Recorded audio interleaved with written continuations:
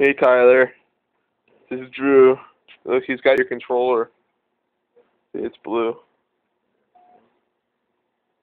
Oh, wait, that's the wrong one. That's the black one.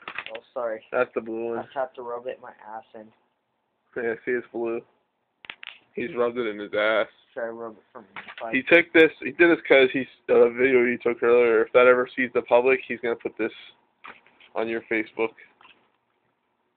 Ha ha.